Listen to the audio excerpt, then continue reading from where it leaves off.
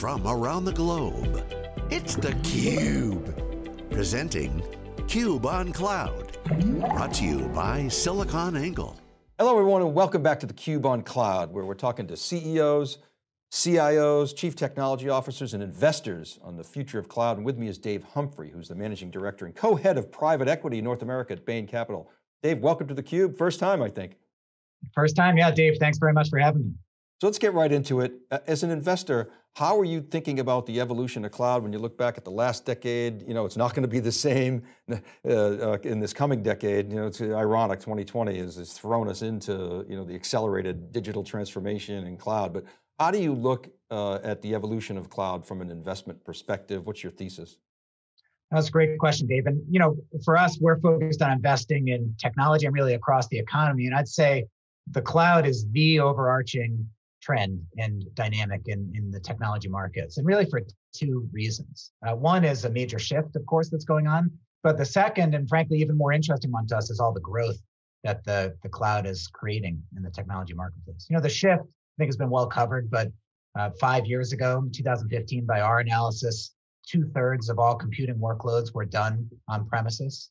And only five years later, that's that's flipped. So two thirds of all computing workloads now done in the cloud. And of course, that shift has a lot of ramifications as an investor. But even more interesting to us is the growth in technology and the usage of technology that the cloud is, is creating. So over that same period of time, the total number of computing workloads uh, run has increased by 2.6 times uh, in just a five-year period of time, which is really a, a dramatic thing. And it makes sense when you think about all the new software applications that can be created, all the data that can be used by new uh, users and new segments and the real-time insight that can be gleaned from that. And it's that growth that really we're uh, focused on investing behind as, as investors uh, in technology.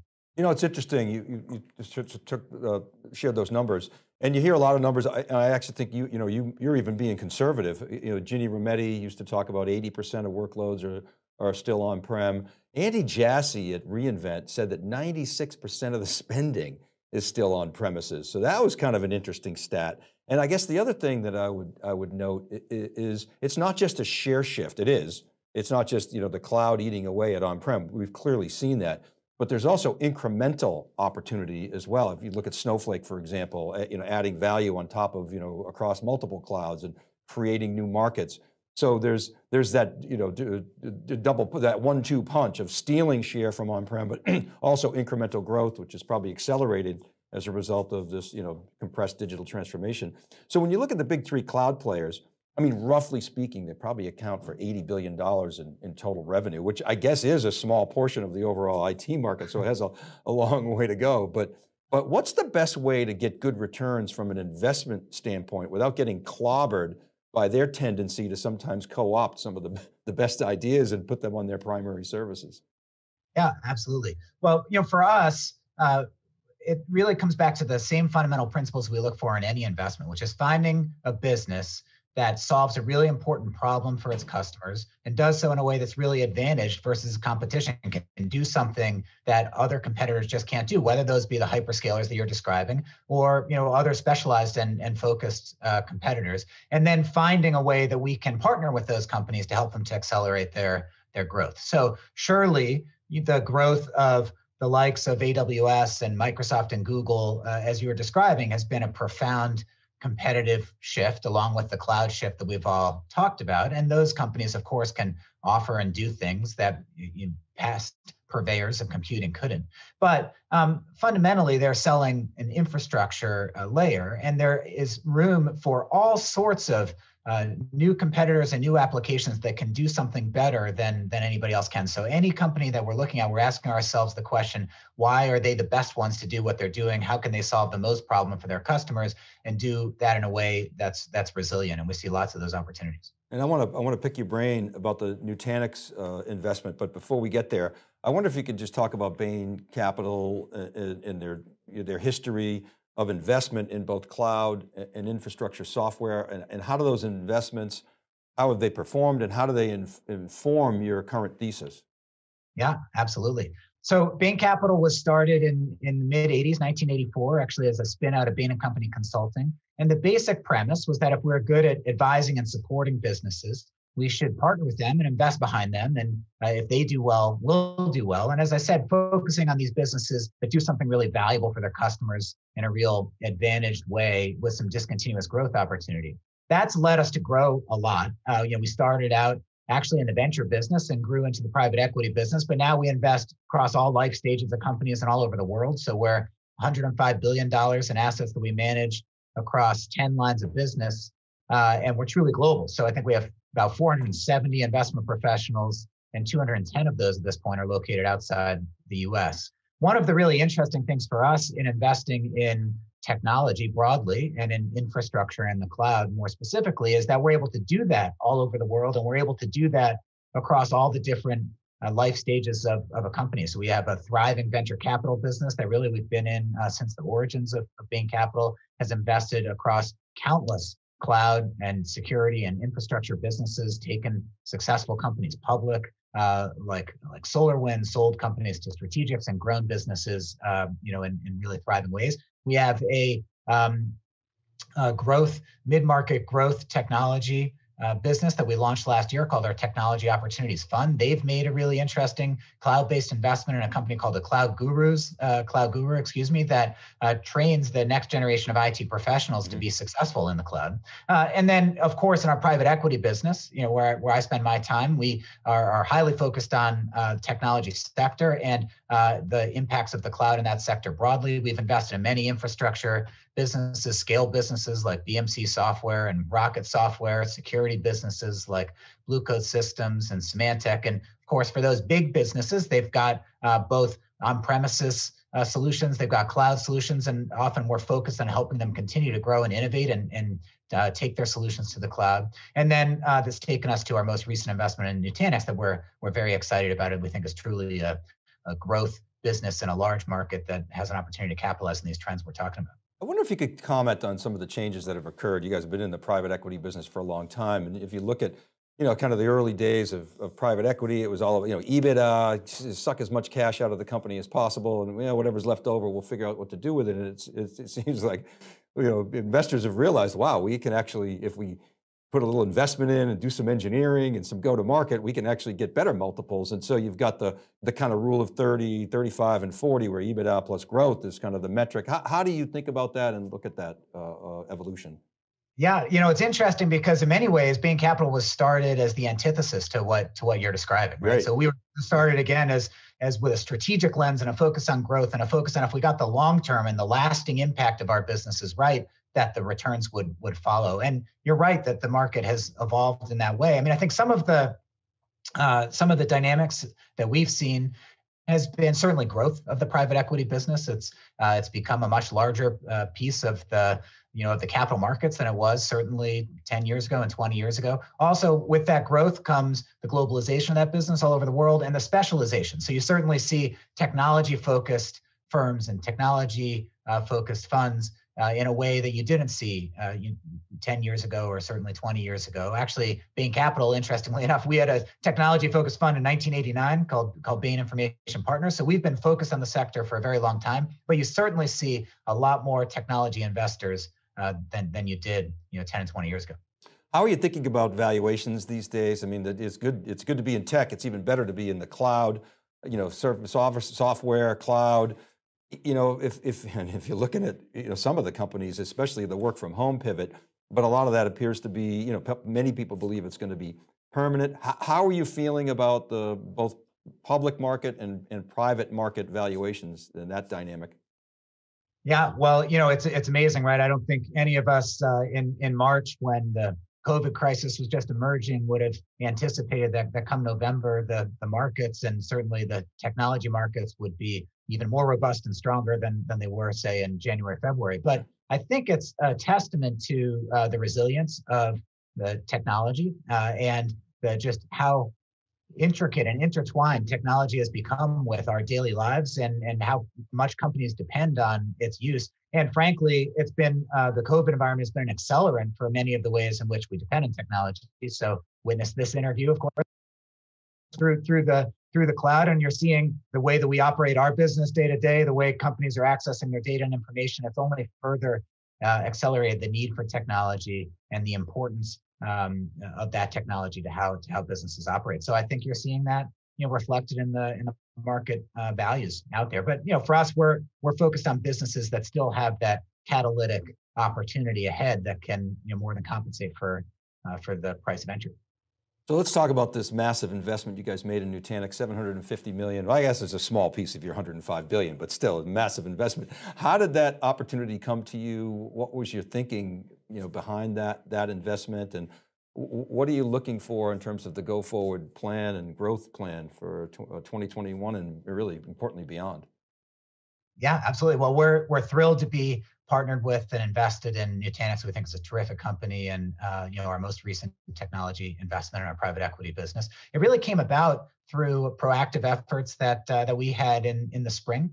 Um, you know, we've got a team focused on the technology sector, focused across infrastructure and applications and uh, internet and digital media businesses and financial technology. And uh, you know, through those efforts, we were looking for businesses um, that we felt had faced some dislocation in their market values associated with the COVID environment that we were facing, but that we thought were really attractive businesses, well positioned, um, had leading solutions, and had substantial and discontinuous growth opportunities. And, and as we looked through that effort, we really felt that uh, Nutanix stood out just as a core leader and in fact um, really the innovator and the inventor of the market in, in which it, it competes with a substantial uh, market share and position solving a really important problem for its customers with a big growth opportunity ahead but um, the stock price had had come down because the business has been undergoing a, a transition, and we didn't think that that was fully understood by um, by the market. And so we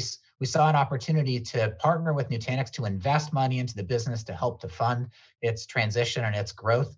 Uh, and to to be partners uh, along for all the value the business will will continue to create. We think um, it's a terrific company, and, and we're excited to be to be invested. Well, you and I have talked about this, that transition, you know, from a traditional, you know, license model to to one that's a, a an annual recurring revenue model, which many companies uh, have gone through. Uh, I, you know, you, you, Adobe certainly has done it. Uh, Tableau successfully did it. Splunk is kind of in the middle of that transition right now, and, and maybe not well understood. Uh, you've got companies like like Datadog that, and Snowflake again doing consumption-based pricing. So there's a lot of confusion in the marketplace, and, and I wonder if you could talk about uh, that transition and, and how, why it, it, it, it, was attractive to you to actually you know, place that bet now. Yeah, absolutely. And as you say, a number of companies at this point have been through uh, various forms of, of this shift from, from selling their technology up front to selling it uh, over time. Uh, and, and we find that the, the model of selling the technology over time uh, is one that can be powerful. It can be aligning for customers as well as for the, um, vendor of, of the software solutions. And in Nutanix in particular, again, we saw all of the ingredients that um, that we think uh, make this uh, an opportunity for for the business. Again, market leading technology that customers love that is uh, solving a really important problem.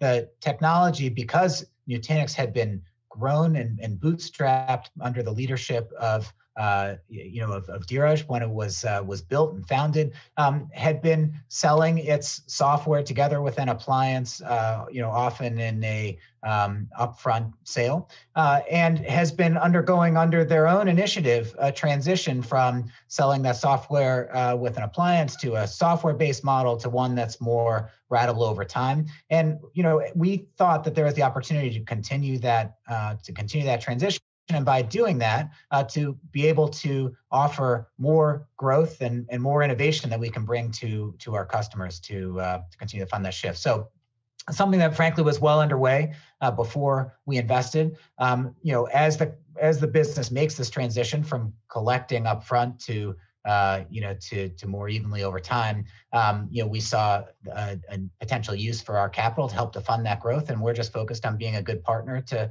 help the company keep investing and innovating as as it continues to do that. I was talking to somebody the other day, Dave, and I told him I was interviewing you, and I was mentioning the Nutanix investment. I said I'm definitely going to cover that, and as part of this, you know, Cube on Cloud program, and they said, well, Nutanix, that's not cloud. I'm like, well, wait a minute. What's cloud? So we heard Andy Jassy at, at reInvent talking a lot about hybrid. Antonio Neri, right after HPE made its uh, earning, last earnings announcement, he came on uh, and, and, said that, well, we heard uh, the big cloud player talk about hybrid. And so the definition is changing. Uh, but so how are you looking at the market? Uh, certainly there's, there's hyper-converged infrastructure, but there's also this software play, there's this cloud play. Help us squint through how you see that. Absolutely. So Nutanix, as, as you alluded to, pioneered the market for hyper-converged infrastructure for bringing compute and storage and networking together, uh, you know, often in private cloud environments in a way that was really powerful for, for customers. And they, of course, continue to be the leaders in, in that marketplace. Um, but they've continued to innovate and invest in ways that uh, can solve problems for customers and related problems across um, the hybrid cloud. So combining both the public cloud with, you know, with that private cloud and across multiple public clouds with things like clusters and lots of innovation that uh, that the business is doing in partnership with the likes of um, Amazon and Microsoft and and uh, others. And so, you know, we think that Nutanix has a powerful role to play uh, in that hybrid cloud world, uh, in a multi-cloud world, and, and we're excited to uh, back them in. Well, I think too, what maybe people don't understand is that not only is Nutanix, you know, compatible with AWS and compatible with Azure and GCP, but it's actually trying to create a, an abstraction layer across those, those clouds. Now, there's two sides of that debate. Some, some will say, well, that, that, that has latency issues, or it, it yes, it, it, reduces complexity, uh, but at the same time, it doesn't give you that fine-grained access. That's kind of the AWS narrative. Customers, you know, want simplicity, and we're seeing, you know, the uptake across clouds. I, I have a multi-part question for you, Dave. So obviously, Bain very strong in strategy. I'm, I'm curious as, as to how uh, much you get involved in the operational details. I mean, obviously 750 million, you've got a stake there, but what are the two to two or three major strategic considerations for not just even just Nutanix, but, but cloud and, and, and software infrastructure companies, and, and how much focus do you put on the operational and what are the priorities there? Absolutely. Well, uh, you know, we pride ourselves in being good partners to our businesses and in, in helping them to grow, not just with our capital, which I think is, of course, important, but also, you know, with our sweat equity and our and our human capital and our partnership. We do that in lots of ways. It's fundamentally about um, you know supporting our businesses, however, is needed to help them to to grow. Uh, we've been investing in the technology sector, as I described, for over over 30 years, and so we've built up a set of capabilities around things like um, helping to partner with the sales force of our, our companies, helping them to you know think about the you know the ways in which they um, they allocate their uh, their uh, research and development and their um, and their innovation, ways in which they um, you know continue to do acquisitions to you know further that pipeline. We support our businesses in lots of ways, but you know, we're not engineers, we're not developers. Of course, we're looking for businesses that are fundamentally great. They've got great technology. They solve problems for customers in a way you know that we could never uh, replicate. That's what's you know amazing about a business like Nutanix. And just over a 10-year period of time, it literally has customer satisfaction levels that we haven't seen from any other infrastructure software company that we've had the you know the, the pleasure of uh, diligencing over the last several years. So what we're focused on is how can we take those great products and offerings that Nutanix has and continue to support them through the further growth and expansion in areas like um, you know the, the further sales force investment to expand into these new areas like clusters that we were talking about and uh, thinking about you know things that they can do to further expand the, the strategic fold. Um, and so you know we have a, a large team at Bain Capital, uh, as I mentioned, um, 260 investment professionals in our private equity business alone. About a third of those are just available to our companies to help support them uh, you know, with various initiatives and efforts after, after we invest, and we'll certainly, of course, make all of those available uh, to Nutanix as well. Somebody was asking me the other day, uh, you know, what's hyper-converged infrastructure? How did that come about? And I was explaining, well, back in the day, you had, you'd buy some servers and some storage, and you'd have a network, and you'd sort of have different teams, and you'd put application, you'd figure it all out, and put the applications on top, you know, test it, make sure it all works, and then and then the, the guys at VCE and VMware and Cisco and the EMC, they got together and said, okay, we're going to bolt together a bunch of different components and you know pre-test it. Here you go. Here's a here's a SKU. And then what Nutanix did was actually really transformational and saying, okay, look, we can do this through software. Um, and, and so, and now, that was what late late 2000s. Now we're sort of entering this new era, this next generation of cloud, cross clouds, So I wonder how you think about, you know, based on what you were just talking about, the whole notion of M&A versus organic. There's a lot of organic development that needs to be done, but perhaps you could you could buy in uh, or inorganically through M&A to actually get there faster. How do you think about that balance? Look, I, I think that uh, that was an articulate, by the way, explanation of I think the, the origins of uh, hyperconverged infrastructure. So I enjoyed that very much. But you know, I, I think that um, with any of our businesses and with Nutanix, we're of course looking at where are we trying to get to in several years, and what are the best ways to support the business to to get there. You know, of course, they'll um, you know primarily that will be through or continued organic investment in, in the company and all the innovation uh, in the product um, that they've been doing. Uh, will the company contemplate acquisitions to further achieve the development goals and the and the objectives for solving pain points for customers to get you know to the strategic places they're trying to get to, of course. Uh, but you know, all as a part of the of the package of, of what's a, a good fit for the company and its growth objective. I mean, with the size of your portfolio, I mean, you're a full stack investor, I would say. Is there any part of the the so-called tech stack that that you won't touch, that you would actually, you know, not not walk but run away from? uh, well, you know, I wouldn't say that we're running away from um, uh, you know anything, but the questions that we're asking ourselves are: Is the technology that we're investing in durable? Uh, is it uh, advantaged and and and does have a growing role in the world. And you know, if if we think that those things are are true, we're absolutely um, thrilled to invest behind those things. You know, if if there are things that we feel like uh, you know that's that's not the case, um, you know, then then we would tend to to shy away from those investments. We've certainly found opportunities in businesses that people perceived as one, but you know, we believe to be another. Well, so let me ask you specifically about, about Nutanix. I, I, mean, clearly they achieved escape velocity, one of the few companies actually from last decade. It was you know, Nutanix, you know, Pure, not a whole lot of others that actually you know, were able to, to maintain independence as a, as a public company. Um, what do you see as their durability, uh, their, their, their, and their moat, if you, if you will? Yeah, absolutely. Well, clearly, we think that uh, it's a very durable and very advantaged business. Um, you know, thus, thus the investment. Look, we think that um, Nutanix has been able to offer the best um, hyper-converged infrastructure product in the market, uh, bar none. Um, uh, one got the best ease of use, uh, is is is the most nimble and flexible for uh, for customers, and you just see that you know resoundingly in customer feedback, and, and also that plays across very heterogeneous architectures in a way that you know is really really powerful. Um, because of that, you know we think that they're best positioned to be able to leverage that technology as they have been uh, to continue to play across both public and private uh, hybrid cloud environments, and so we're excited to you know to back them in in that journey. It really starts from solving an acute customer pain point, you know, better than anybody else can, and uh, you know we're looking to uh, to back them to continue to expand that that vision. Yeah, well, I've talked to a lot of Nutanix customers over the years, and, and that is the fundamental value proposition. Is it's really simple, very high, you know, customer satisfaction. So that, that makes a lot of sense. Well, Dave, thanks very much for coming on theCUBE and participating in theCUBE on Cloud. Really appreciate your perspectives. Wish you best of luck and hopefully we can do this again in the future. Maybe face to face.